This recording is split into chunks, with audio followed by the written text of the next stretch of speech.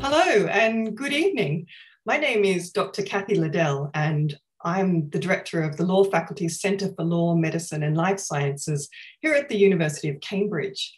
And on behalf of our centre uh, and the Cambridge Science Festival, I would like to welcome you warmly to the 2021 Baron de Lancey Lecture, which I'm delighted to say will be given by Dr. Silvia Camporesi, who you can see on the screen, I hope. Also on screen is Dr. Jeff Skopek, the Deputy Director of the Centre. We are very fortunate and grateful that the lecture series is supported by the university's Heyden de Lancey Fund for Medical Law Research and Teaching. And before we get to tonight's main event, I will just take a few minutes of your time to introduce the proceedings. The fund was bestowed by a foundation in Jersey, which was set up in 1970 in memory of the extraordinary Baron Ver Heyden de Lancey, who was a doctor, a lawyer, and a financier, amongst other achievements. We are delighted that two trustees from the foundation are online tonight, Dr. Charlotte Ritter and Dr. Bas van Overkerk. Dr. Ritter is in fact a descendant of the Baron's family, and it's, it's wonderful to have this ongoing connection. The Baron's lecture has a, a long history of distinguished speakers, by way of example, James Badenoch QC spoke in 2016 about an important legal development for informed consent and medical negligence. We also had Professor Sir Peter Lachmann speak about regulatory burdens for pharmaceutical innovation. And Professor Glenn Cohen from Harvard Law School spoke on the myriad of ethical issues raised by emerging reproductive technologies. In 2019, the last Baron de Lancey lecture before the pandemic, Professor Imogen Goold examined decision making powers of parents and the courts for very ill young children. Tonight, our subject continues this fascinating list, and Dr. Camporesi will be talking about international sports regulations that require people with different sexual development to take testosterone lowering drugs before competing in women's middle distance running events. The regulations apply narrowly to people with different sexual development based on genetic traits that include double X or XY chromosome and hormone production such that they develop as a woman, yet have unusually high levels of testosterone for a woman. But despite the narrow drafting, the regulations have wide implications for the concepts of female sex and gender and empowerment of women in sport. The issues are also particularly topical in view of Caster Semenya's appeal last month to the European Court of Human Rights and her hopes to compete in the Tokyo Olympics later this year other athletes also in the frame. In the last Olympics in Rio in, in 2016, all three medalists in the women's 800 meters reportedly had hyperandrogenism. So we are very pleased that Dr. Camporesi has agreed to give this lecture. Silvia is based at the Department of Global Health and Social Medicine at King's College London, where she specializes in medical ethics and has a special interest in the ethics of sports our friend Professor Bartha Knoppers from McGill University was originally scheduled to speak, but unfortunately, due to an injury, this wasn't possible. So it was simply marvelous that Silvia was available. Coincidentally, both Silvia and Bartha are expert advisors on the WADA ethics group. Uh, that's the World Anti Doping Agency's ethics group. Before I hand over to Silvia, I will just run through a few logistics for this year's online format. Silvia has kindly pre-recorded her presentation to avoid any technical hitches. This will be broadcast into the same window we are currently watching. So please stay tuned. There is no need to switch to another web page. The changeovers uh, will happen automatically. And after the presentation, Silvia will join us also automatically for a live Q&A session facilitated by my colleagues Jeff and herself. And this will run um, up until 7 p.m., depending on the questions that you have. And talking of that, we get to an important message about audience participation. During Silvia's presentation, please feel free to submit questions and comments uh, by typing them into the box below the video stream and clicking the green Ask button. These will then be visible uh, to the entire audience. Uh, please therefore ask questions respectful of an audience with diverse backgrounds. And if someone else has submitted a question or comment that you would also like to see Silvia discuss, you can vote for it by clicking the thumbs up button to the right of the question. Naturally, an online event wasn't our first preference for tonight's lecture, but this degree of audience participation is a silver lining, so please do use it as fully as possible. And with that, I'd like now to pass proceedings on to the pre-recorded video.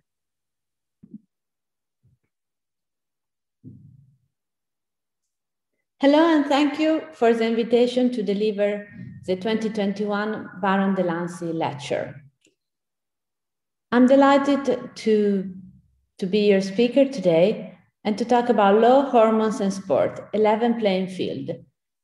This is a research that I've been working on since 2009.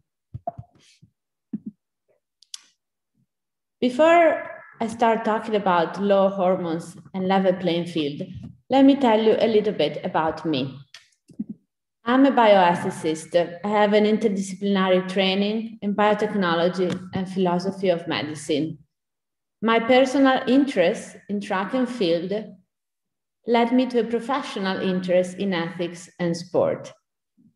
I grew up in Italy, where I was a middle distance runner.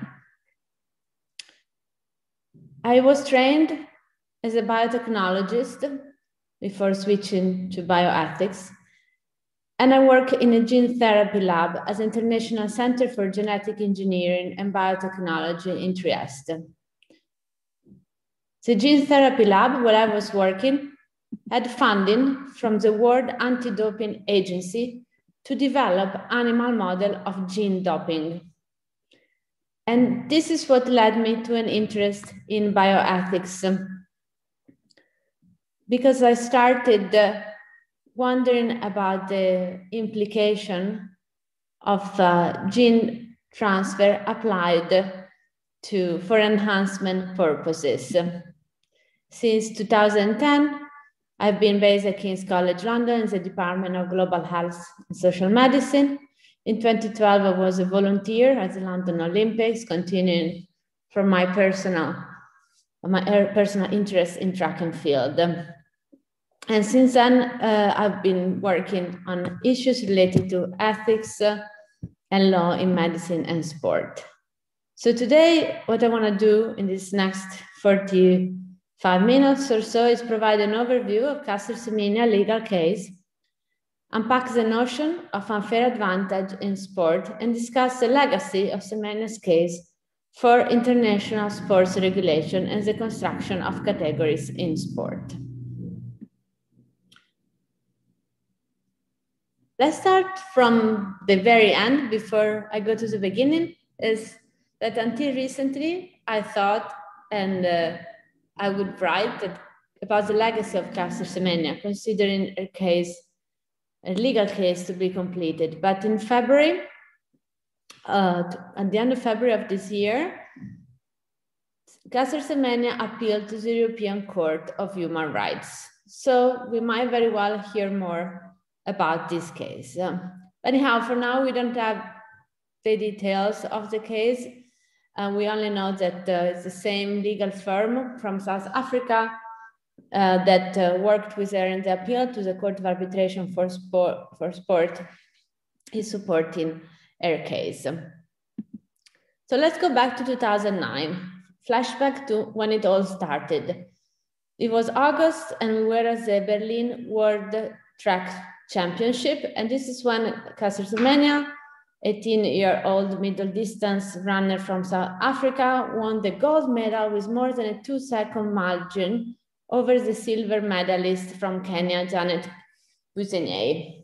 And um, her performance of uh, 1 minute uh, 55 seconds um, and 45 meant that she was she had more than a two second margin and this prompted um, suspicion of uh, doping or in her case it led to a gender investigation so her medal was revoked shortly afterwards after her victory in Berlin, and Caster Semenya was banned for competing for 11 months during the investigation into her gender.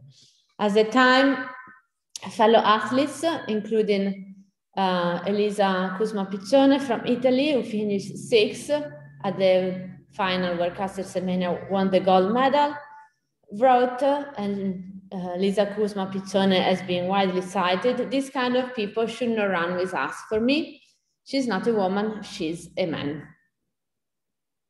And this is important when we discuss the trigger for testing, because uh, at that time, there were no sex testing in place. All sex testing had been abandoned by the International Olympic Committee and uh, the International Association for Athletic Federation, which was renamed World Athletics um, in 2019. So Caster-Semenya's case uh, prompted an investigation into her um, gender and led to the 2011 IAAF hyperandrogenism regulation. Now, this regulation are not available anymore on the web. So if you look for them, you'll not be able to find them because they were taken down after the suspension of regulation, which uh, came about in 2015. However, uh, they can be accessed from my research portal. So the hyperandrogenism regulation, or full title, the regulation governing the eligibility of females with hyperandrogenism to compete in women's competition, discuss what is it that makes a woman and a man for the purposes of sports competition. And they rely on two assumptions. The first one is that sex segregation provides fair participation to participants. And as we can read in the 2011 regulation, IAAF writes since 1928, competition in athletics has been strictly divided into male and female classification and females have competed in athletics in a separate category designed to recognize their specific physical aptitude and performance. So sex segregation has been a necessary condition to ensure fair participation. And the second assumption is that testosterone is a master molecule of athleticism, or in other words, as a difference in athletic performance between males and females is known to be predominantly due to higher level of androgenic hormones, mainly testosterone derivatives, resulting in increased strength and muscle development. And finally, and this is the crux of the matter, in my opinion, is that hyperandrogenism, elevated level of testosterone, constitute an unfair advantage. As we can read in the 2011 regulation, a female with hyperandrogenism who is recognized as a female uh, shall be eligible to compete in women's competition provided that she has androgen levels below the male range of 10 nanomoles per liter, or if she has androgen levels within the male range, that she also has an androgen resistance, which means that she derives no competitive advantage from such levels. So the regulation for the first time required the pharmacological suppression of testosterone, also known as androgen deprivation, to a level of below 10 nanomoles per liter as a necessary condition to re-enter competition. So what do the regulations say in practice? They say that if you want to be a woman, one that is fair according to IAAF to a fellow competition, you need to have the right level of androgens, either by nature or after androgen suppressive treatment. At that time, Caster-Semenya was not able to appeal. So when she competed again at the London 2012 Olympics, she competed under pharmacological suppression, although the details of her case have never been made public. This is some kind of the common knowledge about her case.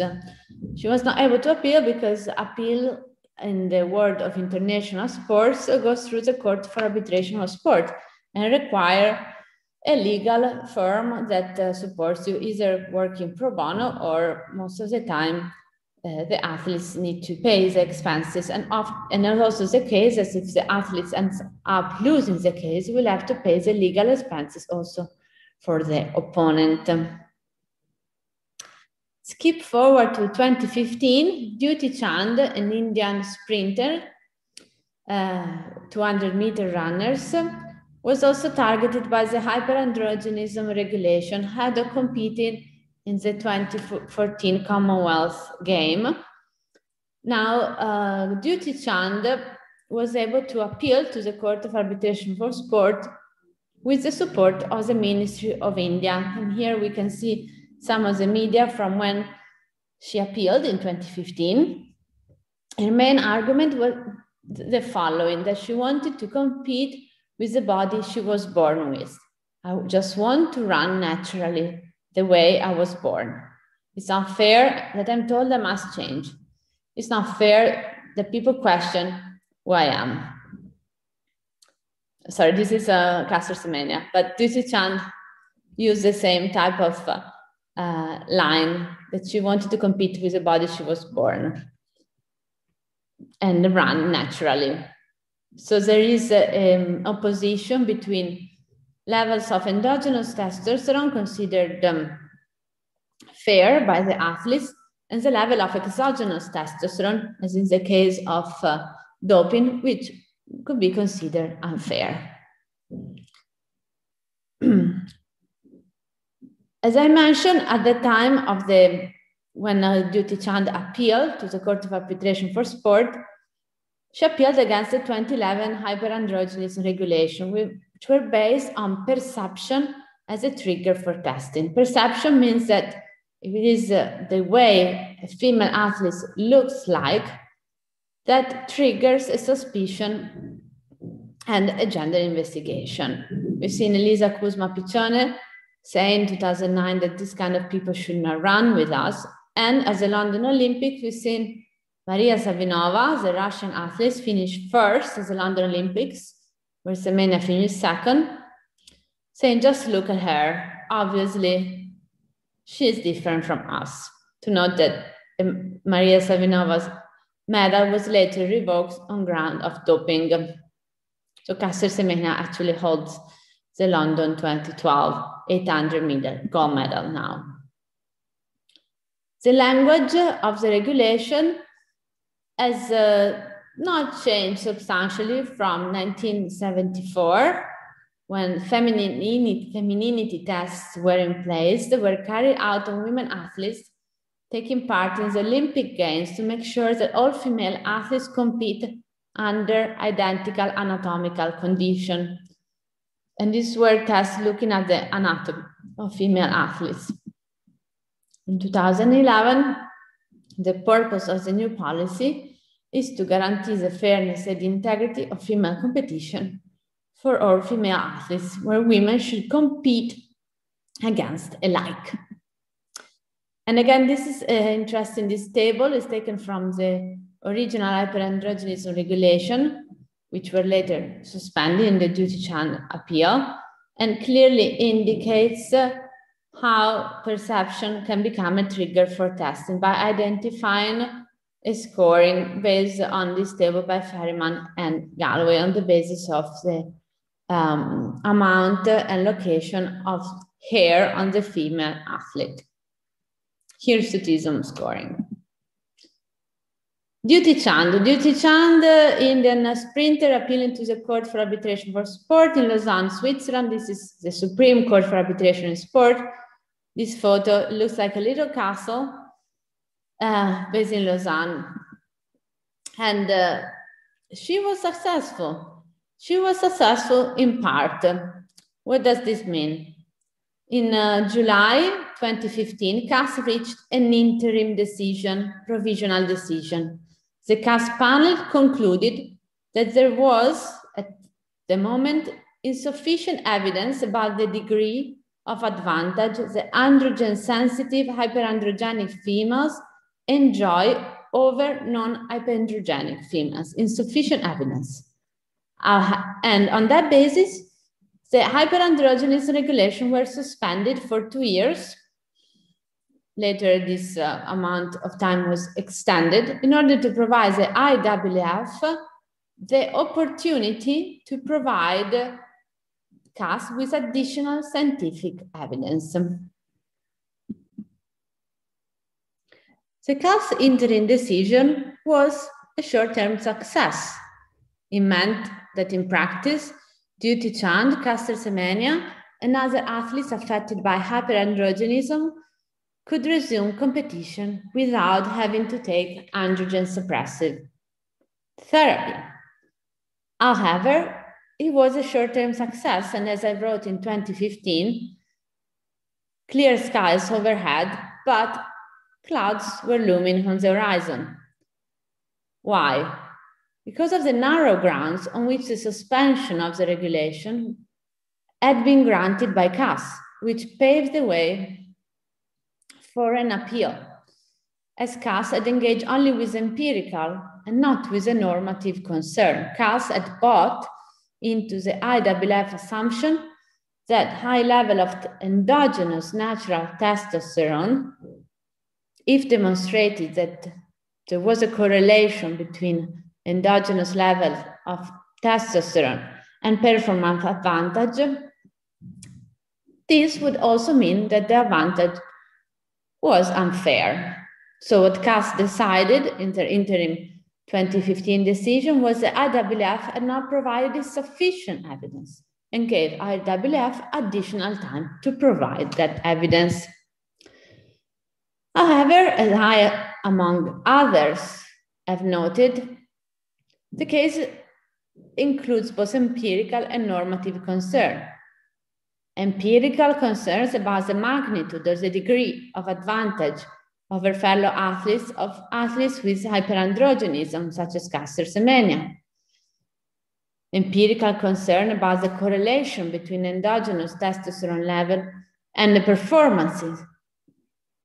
Empirical concern about the percentage of standard deviation of the final performance advantage conferred by high testosterone level over the final performance of other athletes. In terms of normative or conceptual concerns, concerns about fairness, we can outline the following questions. For example, is the performance advantage attainable? Is the performance advantage that Semenya, Dutee Chand, and athletes with hyperandrogenism have is it attainable to other female athletes without that property advantage of high endogenous testosterone level? First question. Second question. In what ways is advantage conferred by testosterone similar or dissimilar to the advantage conferred by other genetic variations? And although an empirical analysis of the magnitude of the advantage conferred by testosterone is necessary, this is not sufficient for the adjudication of the case. And this has always been my argument, uh, together with the argument of other critical scholars. So the framing of Dutee Chand case of, of the interim decision was too narrow as it didn't set out to address the key issue. When does an advantage count as unfair. And let's look a little bit more at the notion of unfair advantage in sport. As a matter of fact, for all of us who are interested in sport and either are amateur athletes or just like to watch sport or TV or with friends, uh, when it's possible. Advantages per se are not condemnable in sport. On the contrary, they are the essence of sport.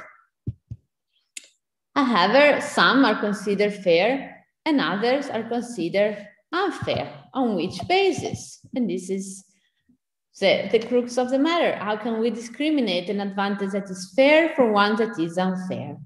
Let's look at some other examples of performance advantages. And in this slide, I've listed through some images, others. At the center, you can see a photo of Finnish skier Eero Mäntyranta from competing in cross-country skiing in the 1960s and 70s. On the top left, you can see Michael Phelps, the American swimmer for many years was when he was at the top of his game was always winning gold medals and others swimming against him were only competing for a second place. At the bottom left corner, you can see Caster Semenya. Top right hand corner, you can see Oscar Pistorius, who was uh, case um, about um, to the Court of Arbitration for Sport in 2008, requiring to compete with able-bodied athletes also touches upon the issue of unfair advantage in sports, but this might be the topic for another time.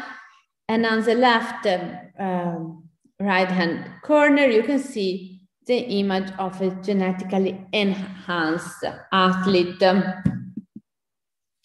Now, with my Finnish uh, colleague and philosophy of sport, Mika Hämäläinen, we have investigated the concept of fairness in sport and uh, building on uh, the concept of property advantage in sport, where property advantage is the advantage that is uh, conferred by specific uh, genetic or biological uh, variation.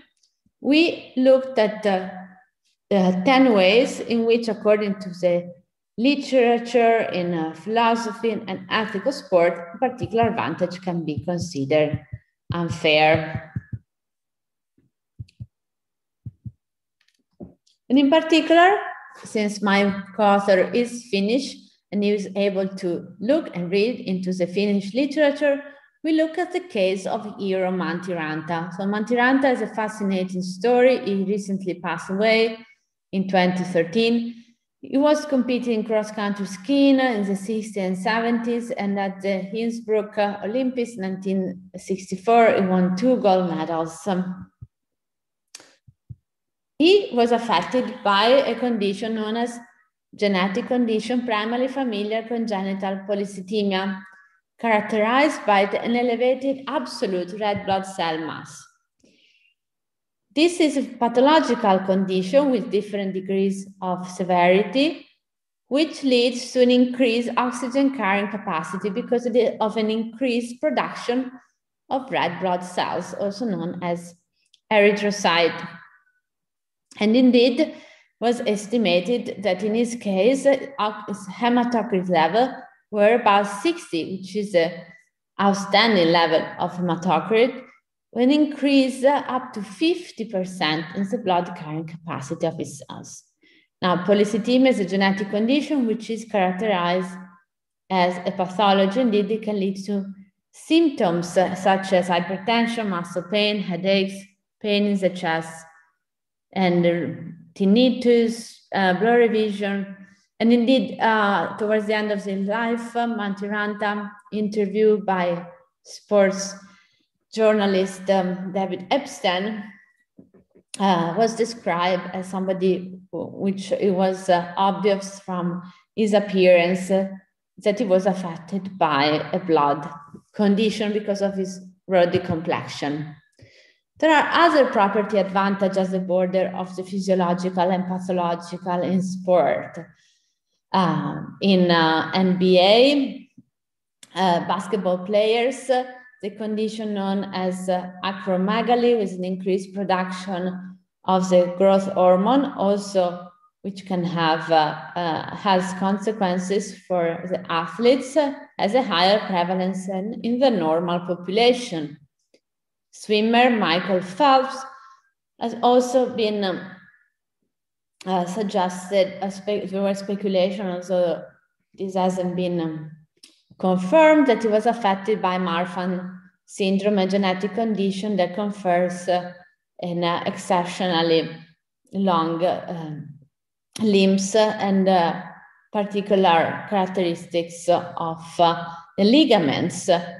Now, my, even without knowing whether Michael Phelps is or isn't affected by Marfan syndrome, obviously the length of his limbs put him as an outlier compared to the average, the general population. And this, I think, it's fair to say is valid for all Olympic athletes insofar as they have genetic and biological variation, either known or unknown. That makes them outliers and makes them the Olympic athletes, exceptional athletes that they are. Now, in the field of sports sciences, there is the branch known as genetic basis of sports performance is uncovering um, every year more about the performance enhancing single nucleotide polymorphism, also known as PEPs. These are uh, single nucleotide polymorphisms that are correlated with performance advantage. For example, here's uh, the nuclear factor erythroid-like-2 gene has been identified as playing a role in endurance performance as it helps produce new mitochondria. And we know that the mitochondria are the energy pro uh, producing organelles of our cells. And uh, athletes who have this variation have a reduced harmful effect from oxidation and inflammation and a faster recovery from training. A long list of performance enhancing polymorphism major candidate gene associated with other athletic performances can be found with a, a PubMed search into uh, genetic basis of sport performance. Um, these are natural variation. We also know that there are unnatural variation, which can be referred to as either gene enhancement or gene doping, depending on what kind of moral and ethical connotation you want to uh, associate to the technology. It might come as a surprise that already 15 years ago, in 2016, the very first product of gene doping came to the fore. And this was a, a product uh, in preclinical study to treat Fanconi anemia, a type of blood disorder, for a pharmaceutical company based in the UK. And uh, the product known as Repoxygen uh, for, was formed by retroviral vector carrying the gene for human erythropoietin, and aimed at having the same performance advantage that athletes like Mäntyranta have um, naturally because they're affected by primary familial polycythemia. And finally, the case of South African athletes Caster Semenya and her hyperandrogenism due to a difference of sex uh, differentiation. So on what basis, this is a question I've been always interested in, on what basis can we single out testosterone from other biological and genetic advantages variation? According to the literature, we can do it through different criteria. One would be the natural and natural criteria. And this, among others, the World Anti-Doping View, which classifies gene doping as a, an unnatural way of enhancing performance and hence in, has included gene doping since 2006 in the list of prohibited substances. According to the natural natural criterion, endogenous level of testosterone, such as those that um, Caster Semenya or Dutee Chand have, would be considered natural and fair. Important to note that the World Anti-Doping Agency does not adjudicate on matters of high testosterone level. It is a remit of the International Association for Athletic Federation, which was recently renamed World Athletics. Another way of distinguishing fair from unfair advantage is looking at the degree of advantage or as a magnitude of advantage. This was a line of thought uh, which was pursued by expert witness uh, on behalf of Caster Semenya at the most recent appeal against the Court for Arbitration of Sport. Um, in 2019, Professor Ross Tucker, on behalf of Semenya, analyzed the margin between first, second, and third place finishers in close to 600 world championships and Olympic events, and concluded the Mrs. Semenya's three most dominant victories ranked 11th, 14th, and 56th. Of these, two ranked outside the 95th percentile, where none were outside the 99th percentile. By contrast, Usain Bolt had three margins of victory outside of the 99th percentile, with another two outside the 95th percentile. Hence, um, responding to, if you remember my slide about the empirical and the normative and conceptual concerns, is advantage conferred by testosterone attainable by other athletes, female athletes the category? The answer would be yes for Semenya. Well, for Usain Bolt, actually the answer might be no.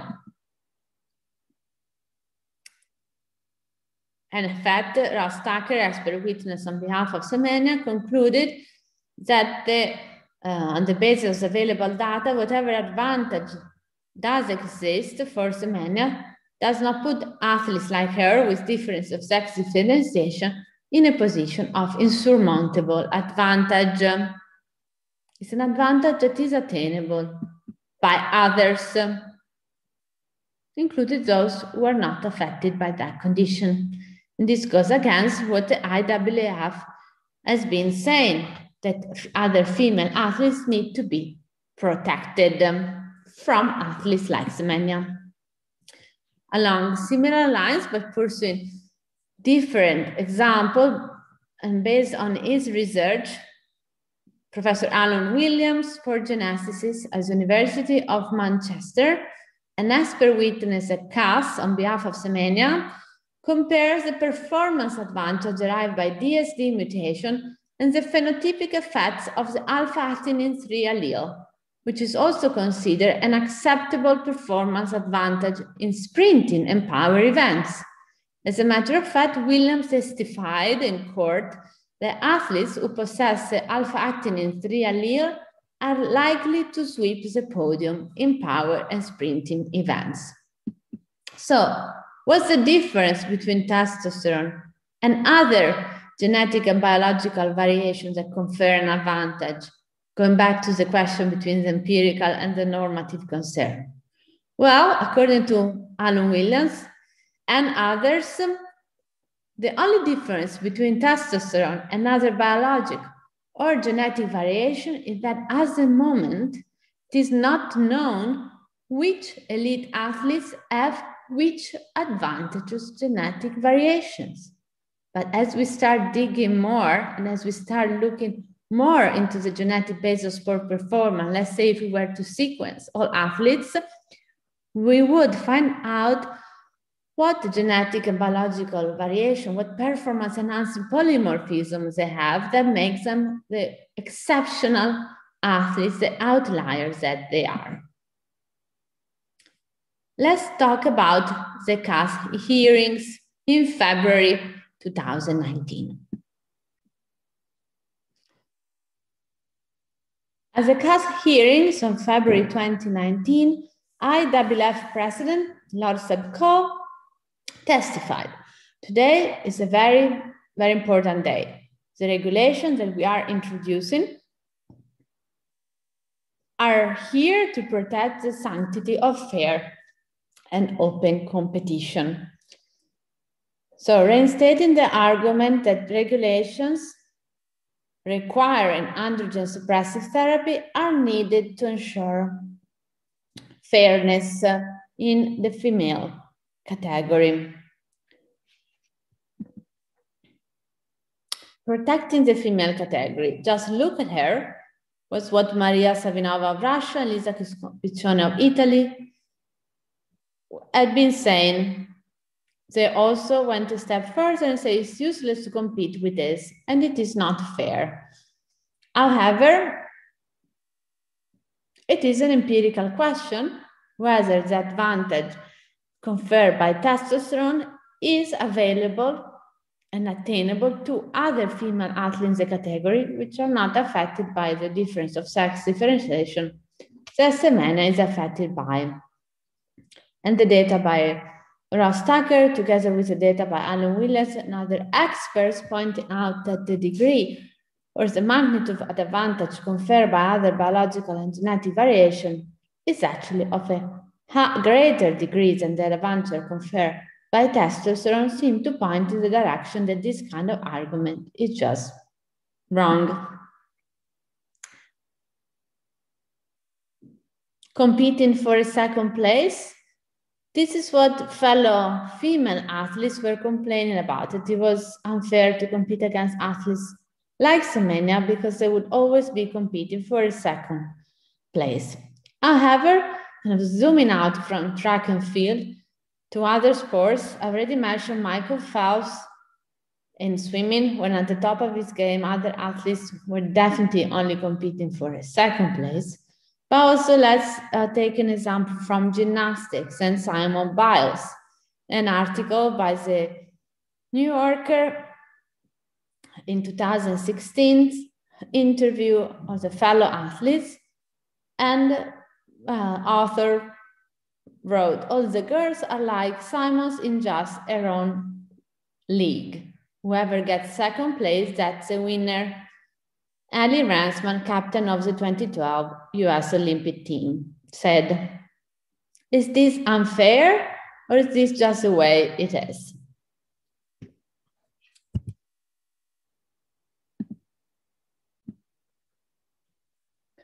I was telling you earlier that the grounds on which the 2015 CAS interim decision had been reached was a narrow ground in which CAS engaged only with the amount of scientific evidence available, but didn't question whether additional evidence brought forward by IAAF could solve the issue of whether high testosterone level confer or not an unfair advantage. And indeed, the interim decision in the Dutee Chand case was a short-term success for athletes um, like uh, Dutee Chand and Semenya, but as expected in 2018, IAAF, after an extension on the two-year suspension, came back with new regulation, new regulations that were at that time uh, more restrictive insofar as they require androgen suppression below 5 nanomoles per liter instead of below 10 nanomoles per liter, but they only uh, pertain to a subset of events from the 400 meters to the mile. So they didn't pertain to all events and track and field. And they were in place from the end of April 2018. Caster Semenya and Athletic South Africa appealed to the Court of Arbitration for Sport against the new IAAF regulation. It was a double appeal by two separate legal firms, by Caster Semenya and by Athletic South Africa. During the duration of the appeal, the regulation were suspended it is important to note that the regulations were based on, in particular, one paper published in uh, 2017 in the British Journal of Sports Medicine, authored by Stéphane Bermon and uh, Pierre-Yves Garnier, commissioned by the IAAF. And Stéphane Bermon is the medical director of the IAAF. And this is a point that was contested in court by expert witness Roger Pielke on grounds of an obvious conflict of interest. Again, you can see the Court of Arbitration for Sport in winters, the challenge brought by Semenya in June, and the regulation which were suspended for almost a year up to May 1st, 2019. A double challenge by Athletics South Africa and by Caster Semenya. The hearings were held in February 2019 at CAS. I, with my co-author Simon Franklin, at the London School of Economics, and Jonathan Ospina Betancourt at the uh, University of Madrid submitted evidence in preparation to the appeal for the Norton and Fulbright legal firm working on behalf of Semenya.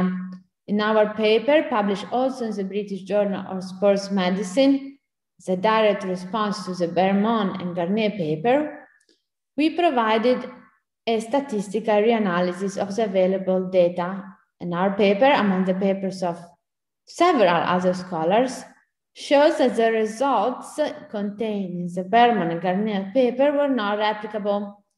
There was a high likelihood of false positive. and the data are unreliable.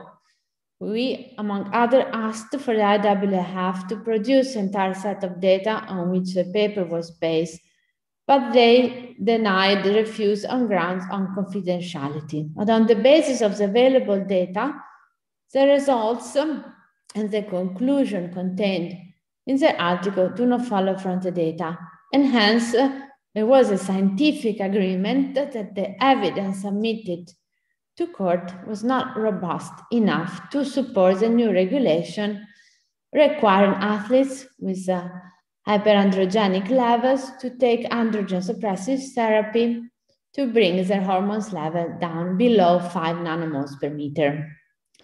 It is important to note that there was at the time a scientific consensus on the fact that the evidence submitted by IAAF was not robust enough. However, this is in very interesting for international sports regulation, for our critical analysis, the response by the Court of Arbitration Sport was not, we don't agree that uh, the data are not robust enough, but they decided not to adjudicate the matter.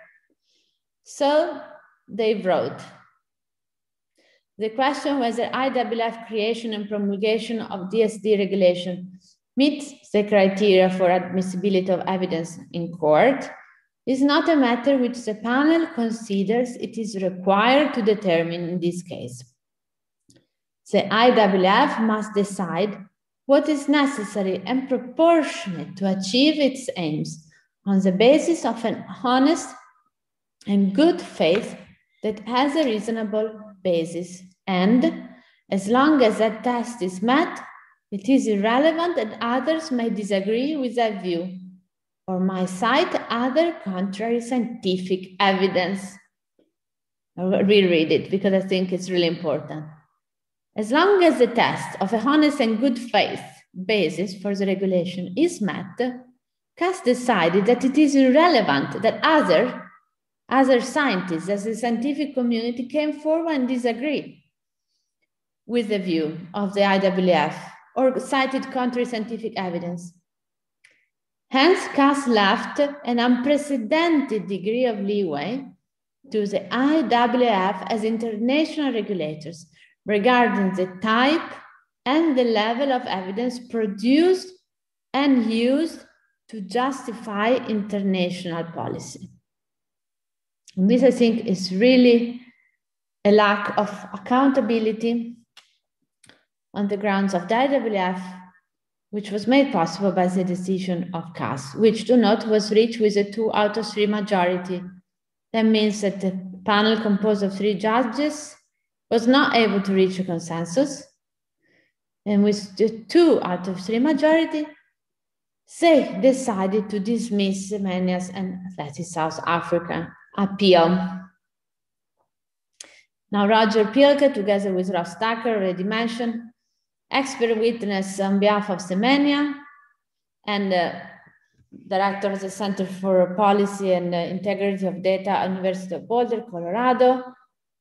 In his expert testimony at CAS, said we would not find it appropriate for cigarette companies to provide the scientific basis for the regulation of smoking or for oil companies to provide the scientific basis for regulation of fossil fuels.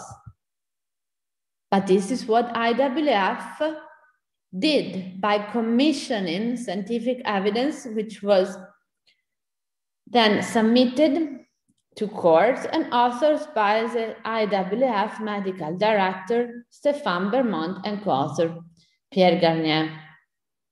The argument by Pielke, Tucker, and others, including Myself and my co-author, Simon Franklin Jonathan Ospina Betancourt, has always been the sports regulation should be held to the same high standard that we expect of researchers in other settings where science informs regulation and policy. But this currently is not the case, so I guess this is open for discussion.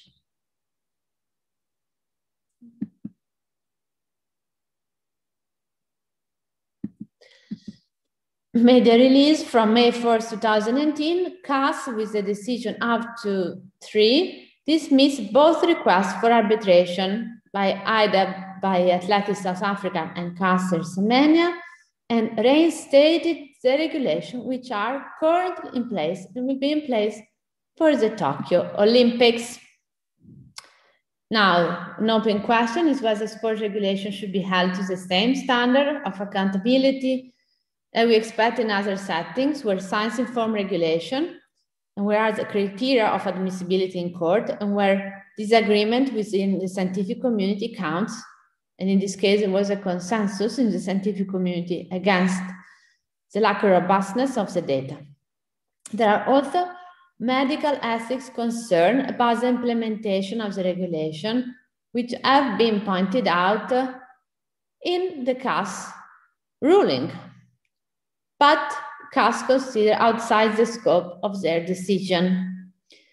The World Medical Association came forward in April, just um, ahead of the press release, uh, urging, urging physicians not to implement the IAAF rule on the basis that it is unethical for a physician to prescribe treatment for a condition that is not recognized as pathological and androgen suppressive therapy or deprivation therapy as known side effects.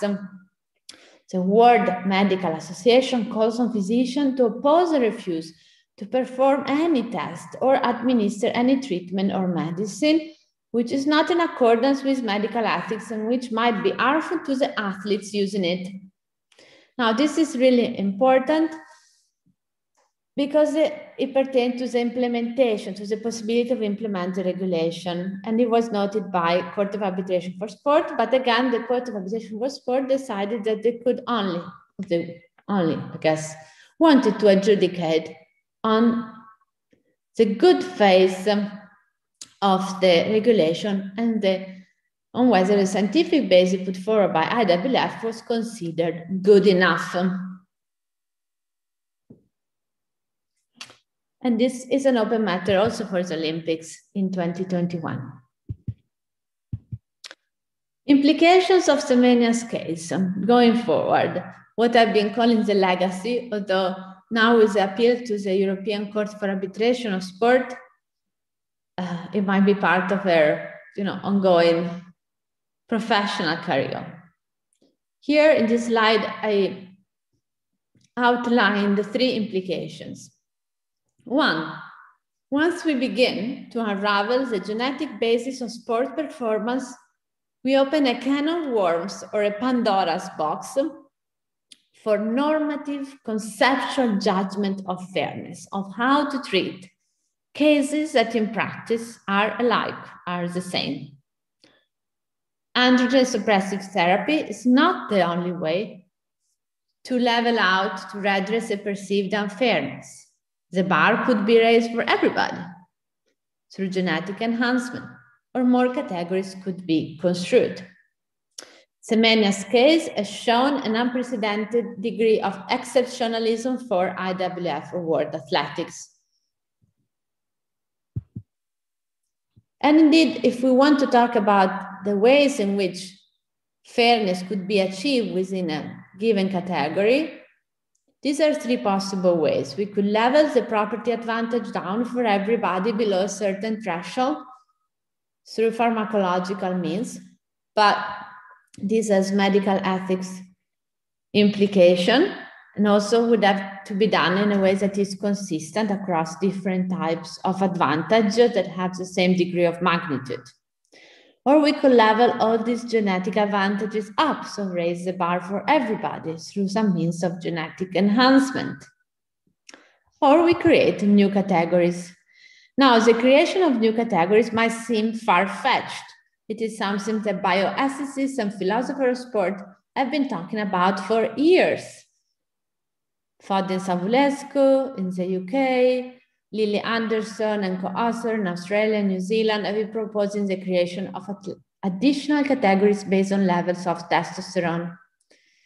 But it might be less far-fetched than one might think, including policymaker Stéphane Bermon, director, medical director of the IAAF and author of the main paper submitted as evidence um, for the new 2018 regulation, when speaking in a personal capacity to The Guardian a couple of years ago, he said that he has a feeling that someday will happen, that the additional categories will be in place.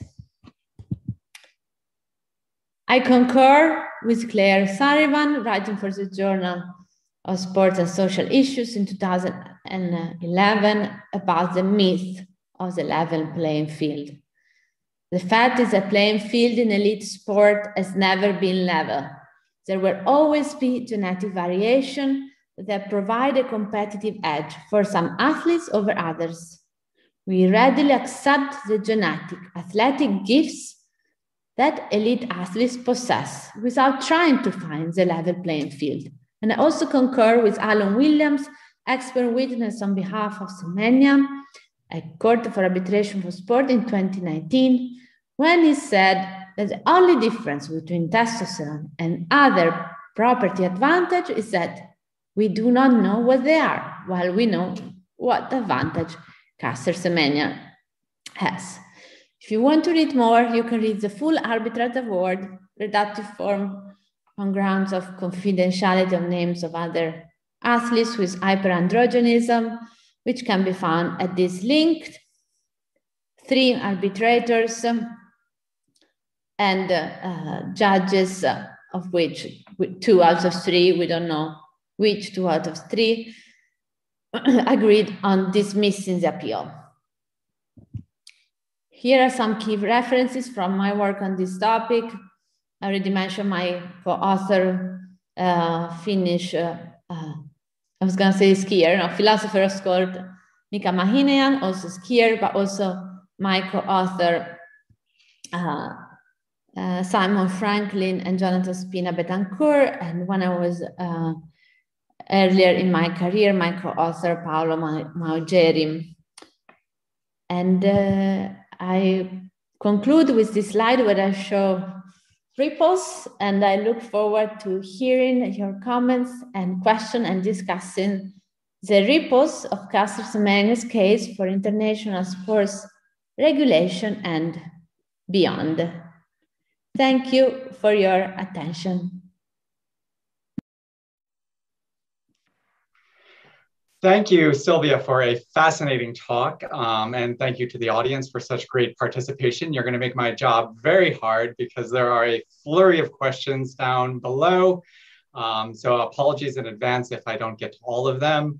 Um, we're going to try to, I've got uh, um, Matt Jordan's helping me out, uh, collating some of your questions. I'll try to touch on some of the core themes that are raised. So even if I don't get to your exact question, hopefully um, I'll touch on a question that raises the issue that you were interested in. So, but keep the questions coming. We'll keep an eye on them. And uh, now let's turn to some uh, Q&A. So um, one question that's uh, been voted up is the question of, have any male athletes, uh, such as Usain Bolt, ever been tested for unusually high testosterone levels? And what would be the implications if they were excessively high? Uh, thank you, Jeff. Oh, I can hear an echo. Oh, and okay, I'm gonna go ahead unless I hear otherwise.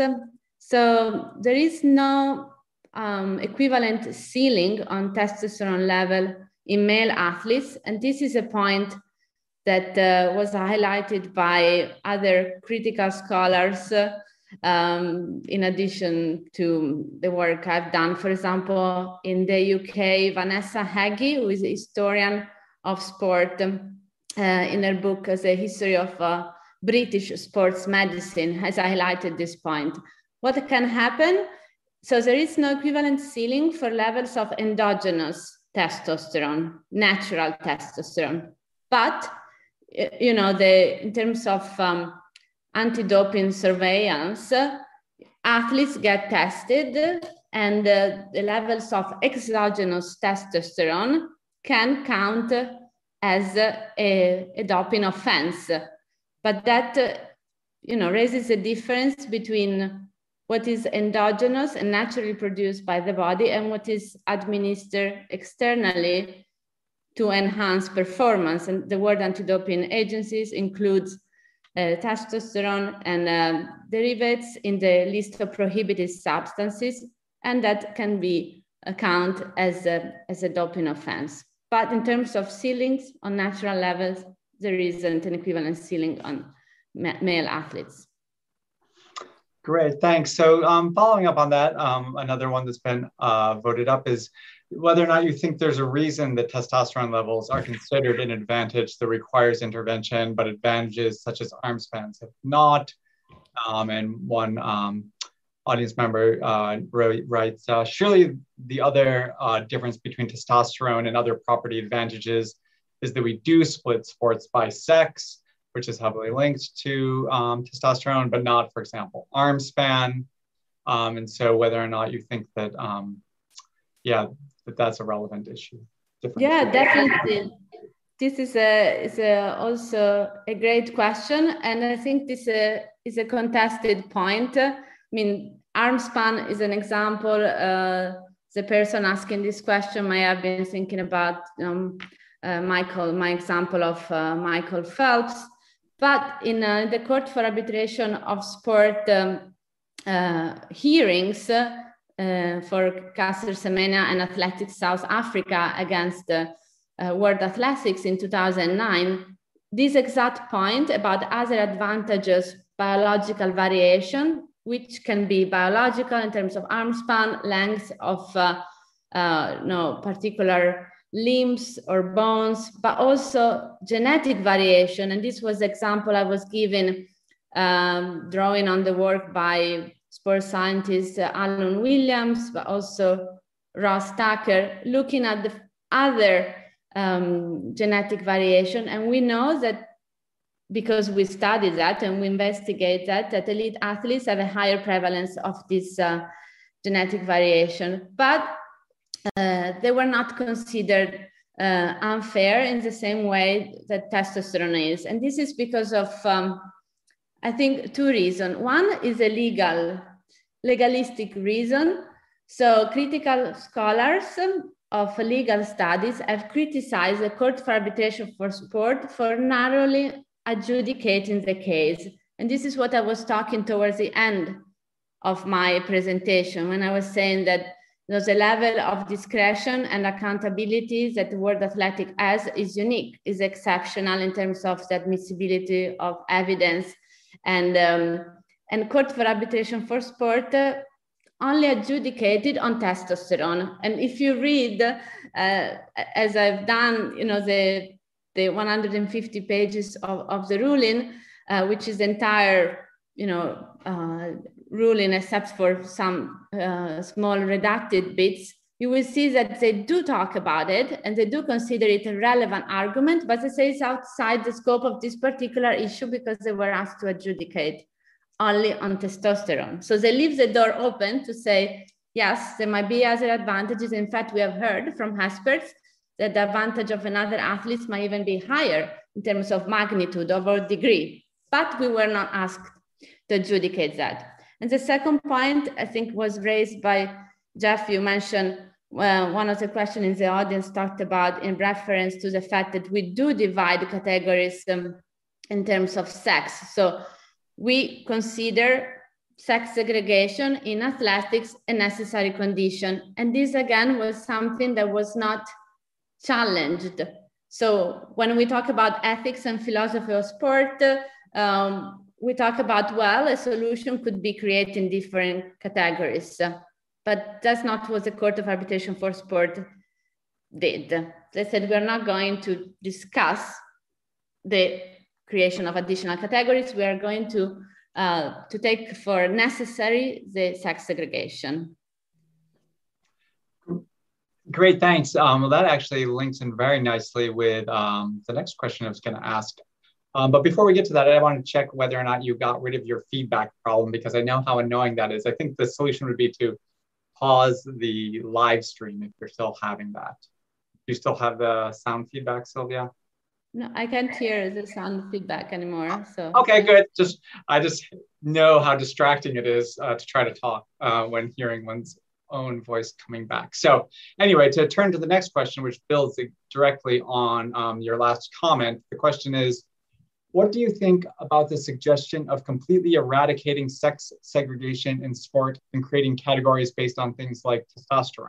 Yeah, I mean, this is a, um, a fascinating suggestion, and I must say it precedes Caster Semenya's case. So, as I mentioned at the beginning of my presentation, um, I've been working on on the issue of regulating uh, female athletes with um, hyperandrogenism since the beginning of the case. But if you look at the philosophy and ethics of sport, you can find papers that precede 2009 that talk about the need to think outside the box and you know get rid of sex segregation and think of different parameters. One could be you know levels of testosterone. One could be levels of um, hematocrit, you know, if you if you think of uh, Mäntyranta example, I mean, he was really an exceptional athlete, and this level of hematocrit definitely gave him an exceptional advantage over other athletes, an advantage that uh,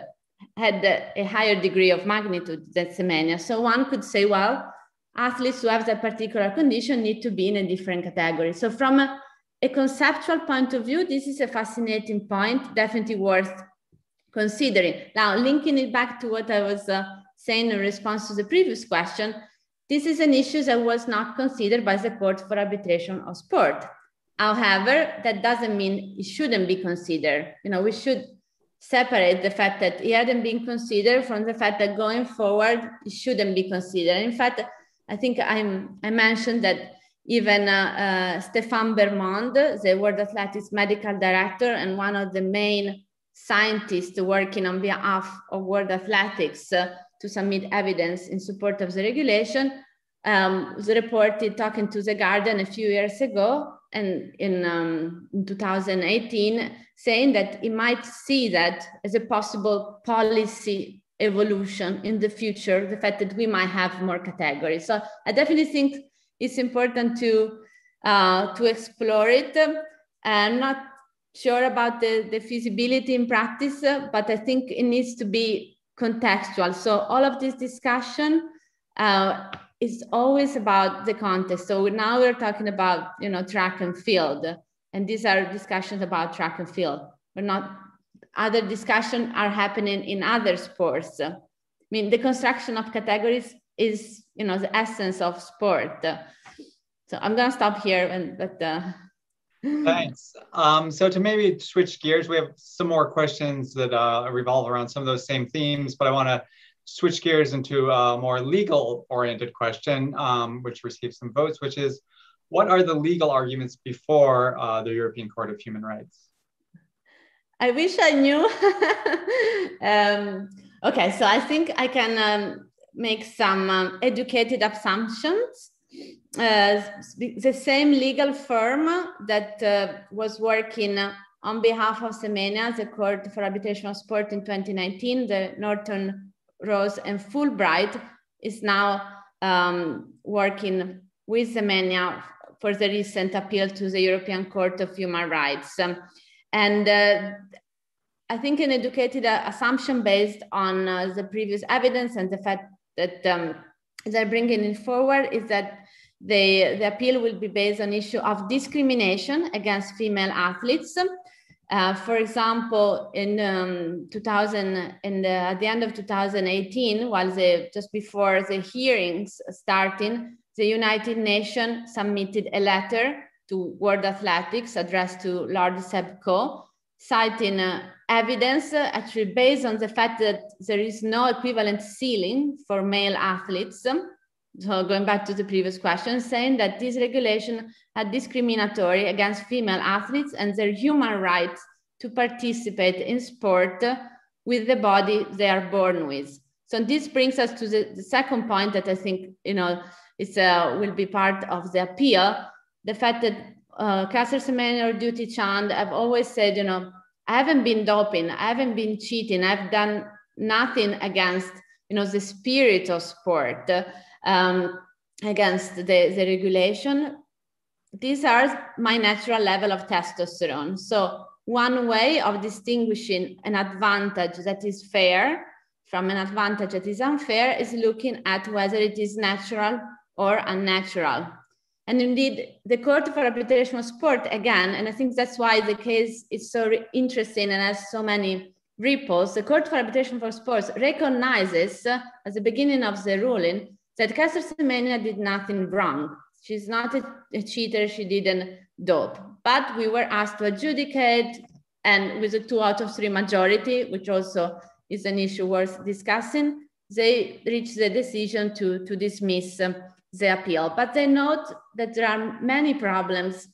The, the, implementation of the regulation, this is the third and final point, which I think would be part of the appeal, is the fact that the World Medical Association has come forward strongly advising um, physicians and medical doctors against implementing the regulation on grounds that are contrary to the principles of medical beneficence because they require the pharmacological suppression of testosterone absent any therapeutic benefit to the athletes.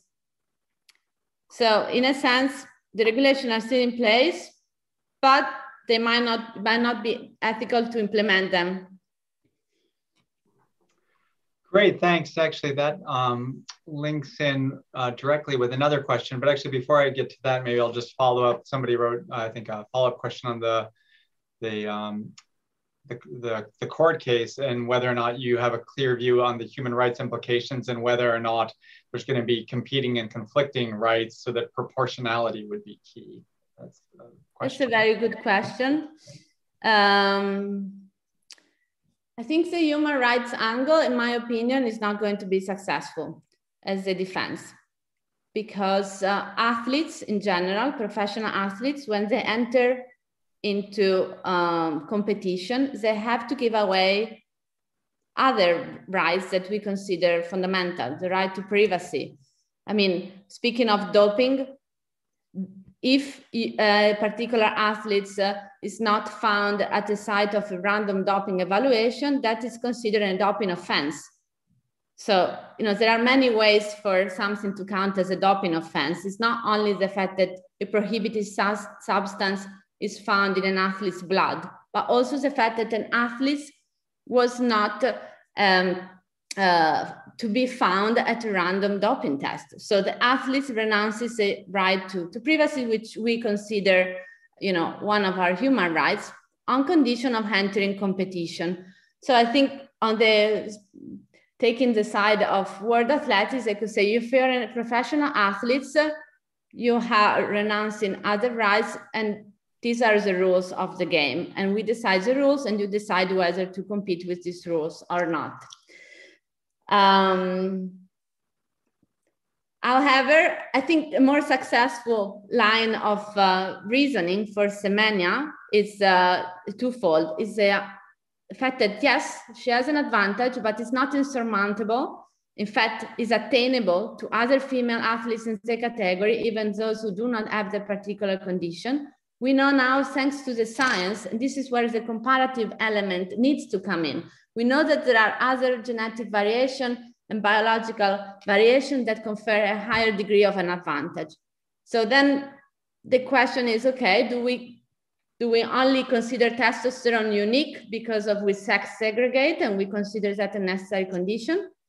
And finally, I think a very successful line of argument is the line of the World Medical Association. This regulation, if you talk to medical doctors and physicians, they will tell you that the side effects um, of androgen deprivation or androgen suppression therapy are manifold and, uh, and they're not justified if there isn't a therapeutic rationale. So I think this would be my opinion, but I, am curious to see how that unfolds uh, and also the human right angles, how it plays out. Great. So I'm going to now um, sort of go back to where you ended uh, your last answer. Uh, you started talking about the role of the medical professionals. And uh, one question is this Should medical professionals be allowed to prescribe uh, hormone suppressants purely for sporting reasons? High testosterone level isn't an illness. That's another great question. Okay, so in um, so I work on the ethics and law in sports and medicine, and uh, in uh, in this context, the sports physicians are often found themselves between uh, uh, a rock and a hard place, so to say, because they're responding to the athletes towards whom they have a duty to care and to treat, but they're also responding to um, other interests in professional sports, the interest of a faster return to play, for example. So we do see in the context of medicine and sports issues of conflict of interest for the sports physician who is at the same time um, may have conflicting um, obligation. Now, I think in terms of medical ethics, one would say the priority goes towards the health of the athletes, not towards the faster return to play, and let's fix these athletes uh, uh, as soon as we can so that they can return to play with consequences and in terms of long-term health of the athletes. But we see this in other contexts beyond track and field, you know, the example of repeated concussions or injuries uh, and the use of uh, particular um, uh, corticosteroids to, uh, to allow um, a swifter return to play. So this is not unique in the context of uh, medicine and sport. I think the answer is no, they should not be allowed. But I wouldn't be surprised if uh, some did prescribe that.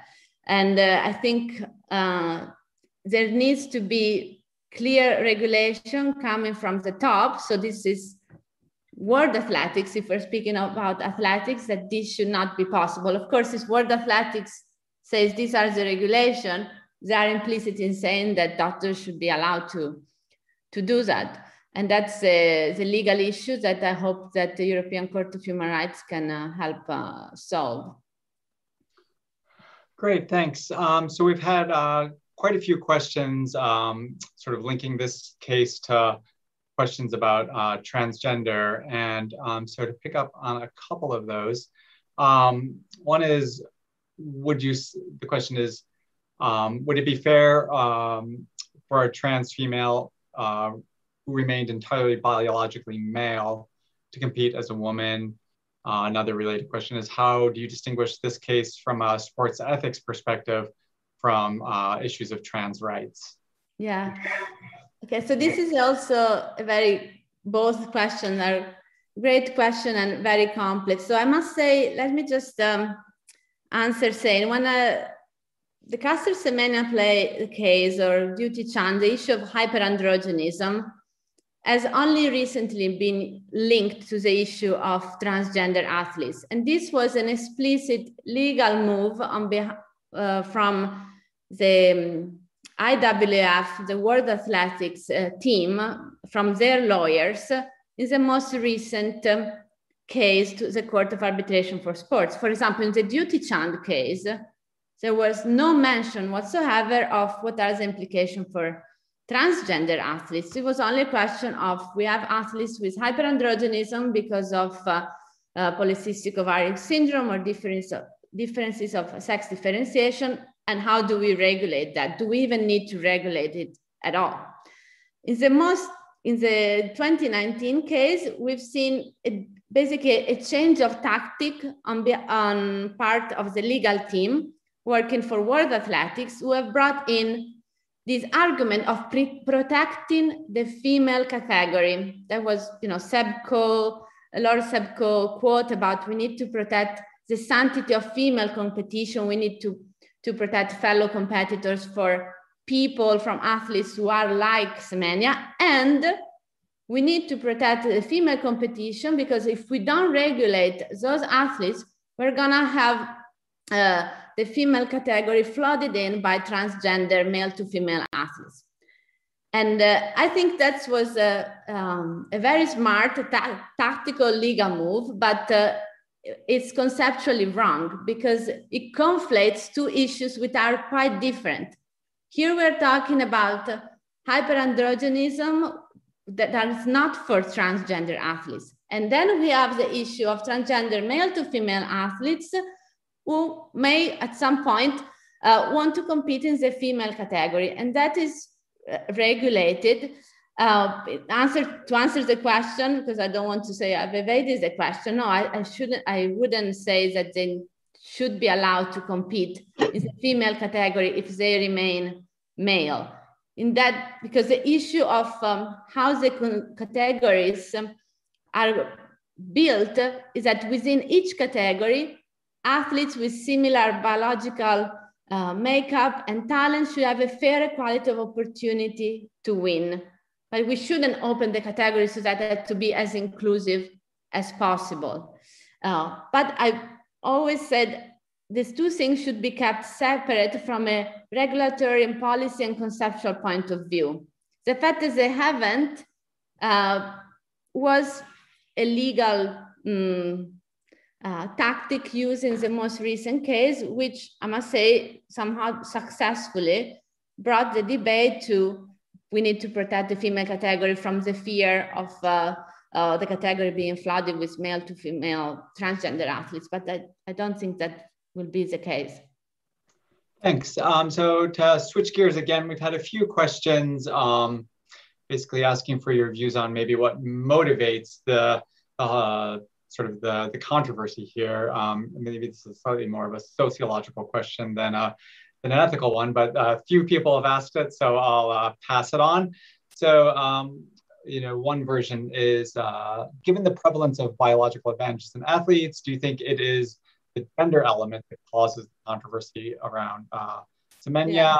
likewise, another uh, question is, why is Semenya being scrutinized so harshly? Is it somewhat related to her race and sexuality? Would the same happen to a straight white woman?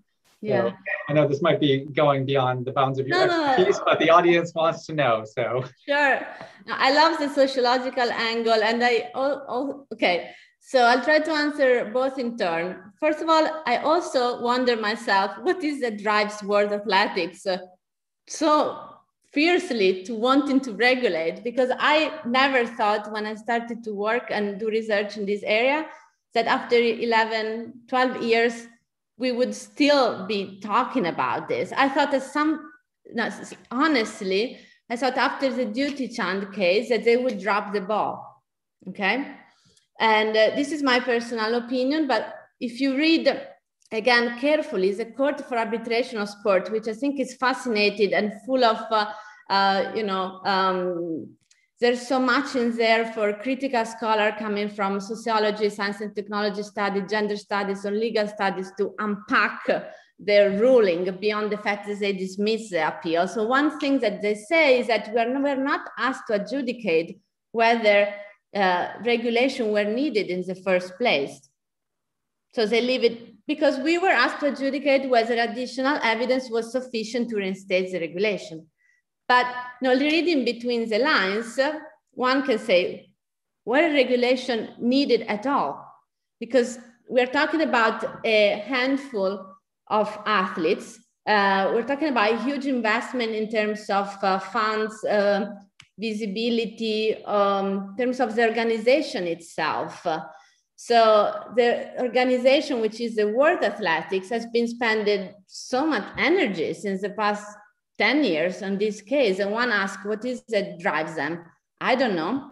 Um, it would be curious to do some empirical research if they're ever happy to, to speak honestly about this. Uh, the second angle has been um, written about by many fantastic scholars around the world coming from the global south i mean south Caster Semenya being south african just to give you an example when, when her case first came to the fore in 2009, we were also talking about another South African athlete, white male. That was Oscar Pistorius. And we were talking about unfair advantage, the same issue. We were talking about whether Pistorius competing with uh, able-bodied athletes with his cheetahs prosthesis had an unfair advantage over them. And then we were talking about Caster Semenya competing with her high level of testosterone, whether she had an advantage over female fellow athletes. And the two cases were treated and framed in a very different ways um, and by the media. So from a sociological point of view, yes, definitely I think that race and gender um, played a big role. I'm not a gender scholar or a post-colonialist scholar myself, but for those interested, there is a lot out there that looks at the issue from, from that angle and also from the fact that other athletes um, uh, that have been targeted by the regulation have always been athletes from the global south. So there haven't been white uh, female athletes targeted by this regulation. I think I mentioned at the beginning of my presentation, uh, perception as a trigger for testing, which was dropped in the most recent iteration of the regulation because it was um, considered problematic, but still it, it's there. Okay, great, thanks. I think we are amazingly coming um, close to the end of our time. So with apologies to those who asked questions that I've not gotten to, um, I hope that I've uh, at least touched on the core theme that you were interested in, even if I didn't get to your particular question. Uh, maybe we'll end with just a sort of general question, which is um, whether you think Semenya will ever get justice. Ooh, this is a difficult question. Uh, uh, I wish I could say yes. I think she will get justice through the European Court of Human Rights. Um, I, I must say I was wrong in my past uh, prediction when I thought that the Court for Arbitration for Sport was, would not dismiss uh, the appeal, but they did with a two out of three majority, which I think it's I say also problematic in itself. I'm not sure that she will get justice. I think her professional career in track and field uh, is uh, coming to this, we say sunset because uh, she's already 30 or, or 31, going towards 31 year old. And uh, but I think she will get justice in, in a broader way. I hope that um, the European Court for Human Rights can really point to all the issues which have been left out by the Court for Arbitration for Sport deciding to adjudicate in such a narrow way only about the evidence uh, of testosterone and uh, whether it was sufficient. So I hope that they will discuss all the other issues and ripples that were noted by the Court for Arbitration for Sport, but they said it's not for us to adjudicate. So I will not, I'm not gonna make a prediction and I, maybe we can, uh, I look forward to, to see how it unfolds. I'm sure we all do as well. And uh, thanks to your very illuminating talk, we will all have much deeper thoughts on it than we otherwise would. I know, speaking from personal experience, I've always found this to be a very hard issue to get my head around.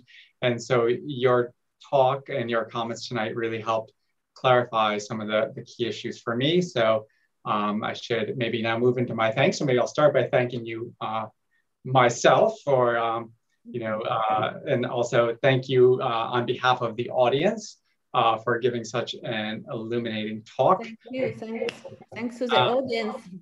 uh, I'd secondly like to thank um, the De Lancey and De La Hanty Foundation uh, for making this uh, event possible.